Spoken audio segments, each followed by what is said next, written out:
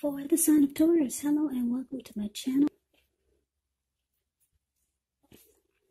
So, Taurus, for the recent past energy, we got this Knight of Swords, and it's with the Six of Pentacles. Well, the Knight of Swords, it actually brings a fairly upbeat and cheerful energy. It can mean that someone or something desirable is about to seek you out. The Knight of Swords, it also points to your physical, your emotional, and your spiritual energy. It's at a peak. And if you were waiting on news from someone or something, you're likely to like what you hear.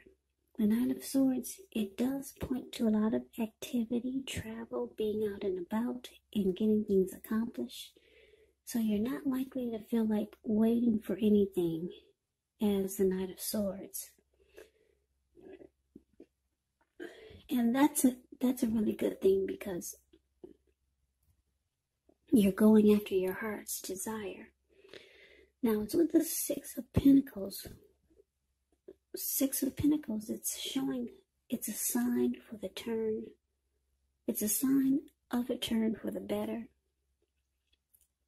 It could be with regards to money. It's one of the more positive Pentacles In the tarot, it speaks of equality, fairness, the nature of life. When you get this card in a reading, you're likely to be heading into a really positive cycle.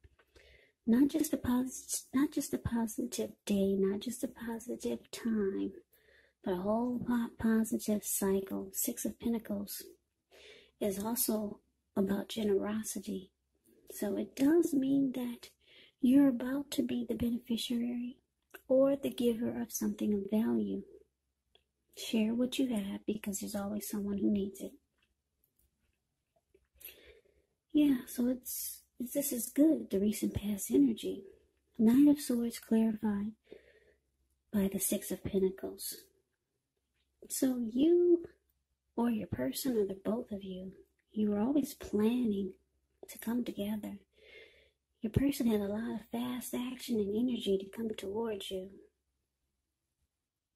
Yeah, they were always anxious or ready to seek you out, to be with you. Always planning to take action in this connection. And with the Six of Pentacles here, it felt like the two of you were in a really positive cycle.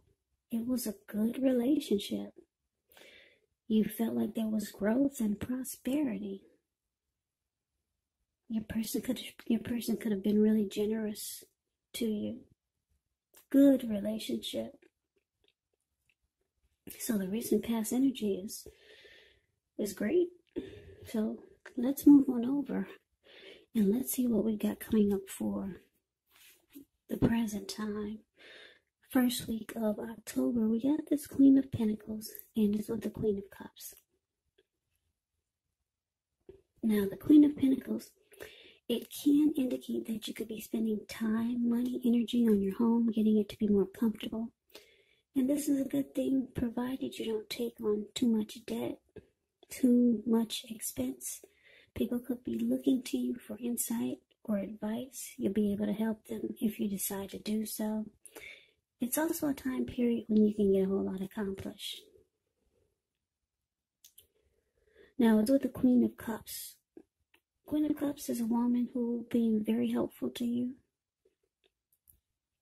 She reminds us to, to bring love, to bring compassion to our work and to our lives. And that's even possible even if we work in a factory all day with objects rather than people. So things are probably better in your world, in your working world, when you get the Queen of Cups. When it comes to love and relationships and you get the Queen of Cups, it's very positive, very positive. Whenever you see the King or the Queen of Cups in your reading, it's showing that there's a lot of love. The Queen and the King of Cups, they're two of the most loving energies in the tarot. And that's what you got here. So, pray for the present time, Queen of Pentacles clarified as the Queen of Cups. So, like I said, the recent past energy was really good between you and the person you're dealing with. Really good. But what we got coming up is that if you're in a relationship and it's it's long distance, which I'm picking up for some of you is some of you it's long distance relationship. Your person could be um wow, they could be wanting to offer you a cup of love and trying to make you feel more comfortable with them. If it's a new relationship, they might be inviting you to their home, just trying to make you feel um, more at peace, more at ease with them. Just wanting to make you feel comfortable if this is a new relationship. Now, if this is an existing relationship, um, the two of you could be spending time at home more time at home, which is what a lot of people are doing because of the quarantine and just trying to make being at home a, a more comfortable place.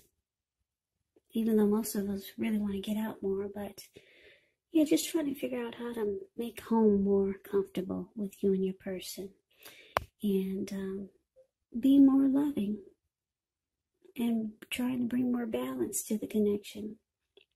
Because the Queen, Queen of Cups, like I said, it's about love and compassion. So, yeah, the present time is not bad either. If it's, like I said, if it's a new relationship, this person will be inviting you to their home, being loving and compassionate. And if it's an existing relationship, you guys will be wanting more comfort or realizing that being at home, you should be trying to make it more comfortable. And there's love and compassion in the connection. So let's move on over and let's see what the challenge is. Now, with the challenge, we got the Devil card, and it's with the Ace of Swords. So the Devil card, just a little, just to tell you a little bit about it. You have to realize that no matter what your situation is, that you always have options to choose from. First things first, don't let other people tell you that your options are limited. If you come to that conclusion, you want to make sure you're coming to it on your own. So it's going to be crucial to remember that you can free yourself from whatever restrictions are holding you back at any time you choose to do so. You could have a feeling that you're not in control of your life, but just know that sometimes this will happen as a result of your own actions, but more often it's a byproduct of inaction. So take action, whatever steps you can to give yourself the feeling, however slight, of being in control, even if it's just a choice on what you're going to have for dinner. Small baby steps, they're important too. Now, the devil card is with the Ace of Swords. Now, the Ace of Swords, like all the aces in the tarot, they're about new beginnings. Yeah, but when you get the Ace and a Sword, it's about a new beginning happen that's caused by some type of separation. So you could be moving, leaving a job, a situation, leaving a person, or just cutting out something, and then there's this great new beginning. So the new beginning, new beginning is started by a separation. So your challenge, we've got this devil clarified by the Ace of Swords. So what I'm getting is that for a lot of you, or for some of you, you might realize that this person that you're involved with or maybe you already know that they've got some type of toxic energy, or either they're toxic. Yeah. Because the devil card is about obsession. Having obsession. They could be obsessed with you. They could have some type of obsession. They could have addictions. um, drug abuse, they get addictions, alcoholism, just some type of toxic devil energy. Devil energy, toxic, toxicity, greed, envy, materialism, sexual lust.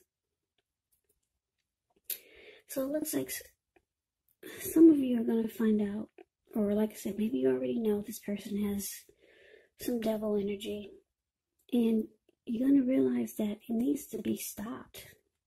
Yeah, it's something that you can't tolerate. It's something that um, you probably refuse to deal with, and it has to be cut out if the two of you are going to have a new beginning. So that's a challenge. Maybe a person is obsessed with you, but you realize that that needs to be stopped too. Maybe it's just too overpowering or just too much for you. Some type of devil energy or toxicity that they bring to the connection. And like I said, you realize it needs to be cut out if the two of you are going to have a, a fresh new start or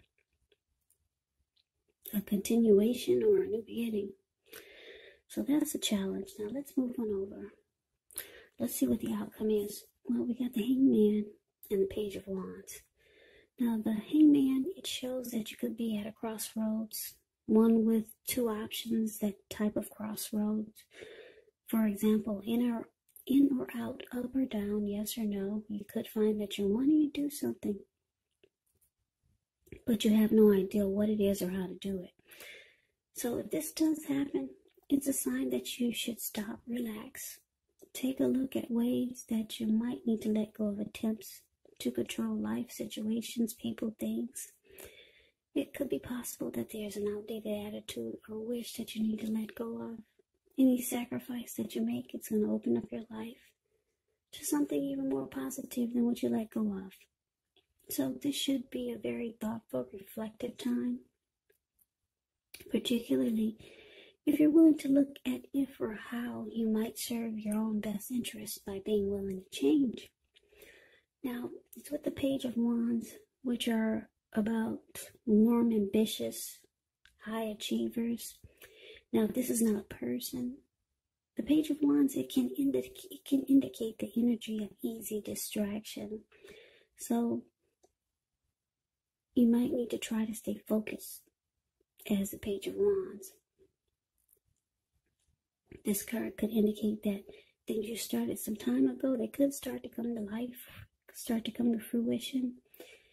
It can also show a need for new things, new adventures, new approaches, new ideas. The page, it actually brings a positive energy, but you have to supply the follow through. You have to supply that, and it can be difficult because, like I said, there's the energy of easy distraction and trying to stay focused. Because when you hear the word page in the tarot, that means youth, youth, a student. It can mean immaturity, or it could mean someone younger than you. Now, the outcome, hangman clarified by the page of wands. So what I'm getting is that, yeah, because you're a person, maybe, maybe you're just realizing about the, uh, this toxic energy that your person has. Um, maybe you're just realizing it. So now you're confused. You're not sure. Should you stay? Should you go? In or out? Up or down? Yes or no? You're just stuck in your head. It could be that you need to let go of something when you're when you got the hangman. Maybe let go of an unattainable lover. That's one example, which will bring about the possibility that you can be with someone who will be there for you. Or maybe let go of a particular vision of the kind of relationship that's that is the only way you can be happy. Yeah, I hope that makes made sense. So you might let me say it again. You might need to let go of a certain type of vision that you're thinking is the only kind of relationship as being the only way to be happy. So it's about letting go of something because you're confused. Yeah. Maybe let go of the thought that that a good relationship has no toxic energy. Maybe now you're realizing that all relationships have some type of something something negative or something something um that's undesirable. Maybe let go of that thought that there's no perfect relationship. Or let just maybe you're thinking of letting go of attempts to control this person or the situation but you're confused you don't know should you do it that way or should you do it this way should you stay or should you go but because it's with the Page of Wands, yeah, your person, they're going to be reaching out to you. They're going to be hollering at you. Yeah, they, they want to get with you. Page of Wands is about a lot of passion to take action. Yeah, your passion, your, person has a lot of passion for you. This person could be younger than you you might start to see them as a bit immature. Yeah, so you know that there's some devil energy here. And you might start to feel that the connection is toxic and you're confused. Yeah, maybe you're this queen of cups. You want you were thinking about offering them a cup of love. Things are going really good with this recent past energy. But now you see that it's it's not a perfect connection. It's not a perfect relationship. So you don't know what to do. But they'll be hollering. Hey, let's get together.